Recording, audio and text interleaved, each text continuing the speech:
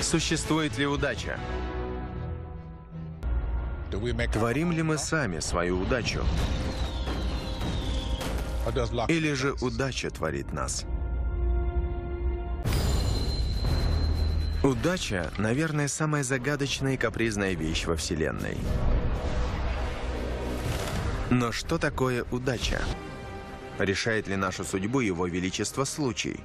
Или же ее предопределяют физические явления?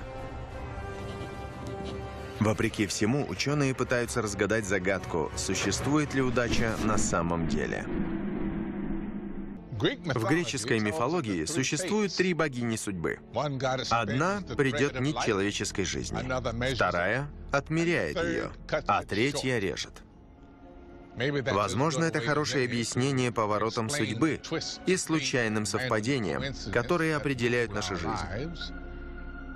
Но мы должны либо найти объяснение происходящему, либо смириться с этой доктриной.